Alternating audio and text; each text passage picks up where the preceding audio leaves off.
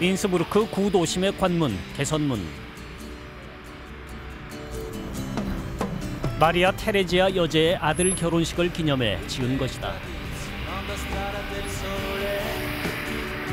하지만 결혼식 도중 여제의 남편이 죽자 여제는 이곳에 생과 사, 기쁨과 슬픔을 상징하는 장식을 했다.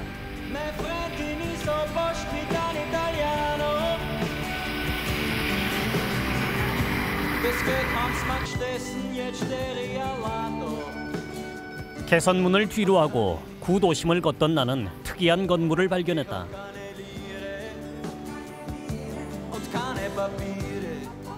동양적 색채가 느껴지는 황금 지붕.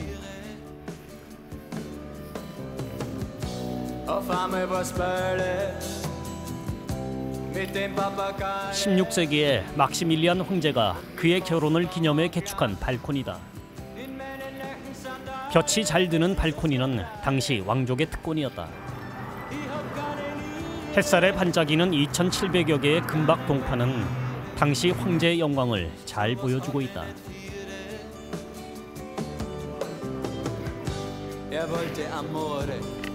규모는 작지만 그 예술성 때문에 인스부르크의 랜드마크라 불린다.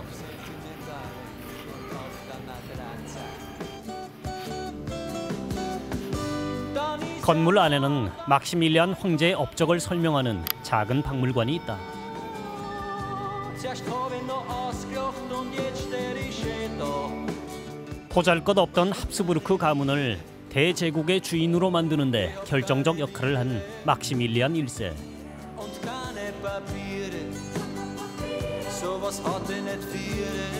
막시밀리안 황제가 택한 것은 전쟁이 아니라 결혼이었다.